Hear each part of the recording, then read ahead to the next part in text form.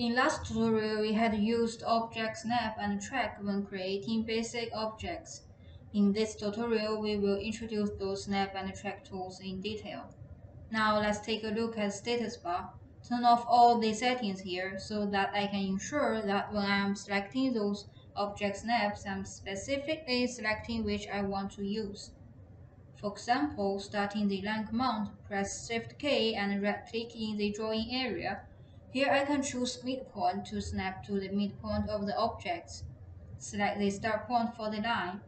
This time choose perpendicular. You will notice that a glyph appears as soon as I touch the line indicating where the perpendicular snap will land. Select the point, draw the line and press enter to exit the line command. And then choose Object Snap by right-clicking the icon in status bar Click Settings. This time I will enable midpoint, endpoint, and center snap. Once enabled the All Snap in status bar, it will automate the process of selecting those snaps and keep working until you enable it. Draw a circle here. Then start the line command and snap to the endpoint of the window.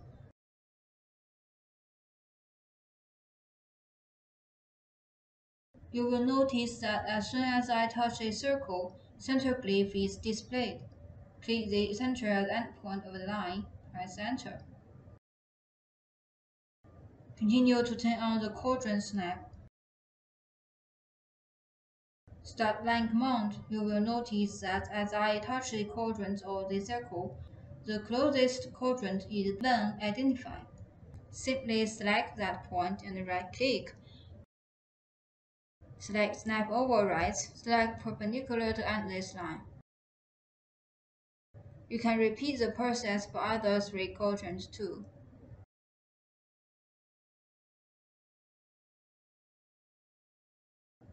There are many other OSNAP options available to make picking specific points easily.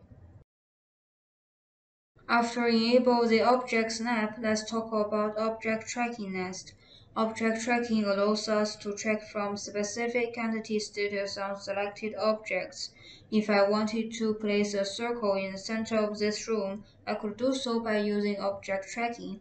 Just right-click Object Track on the status bar and select the snap options I will use.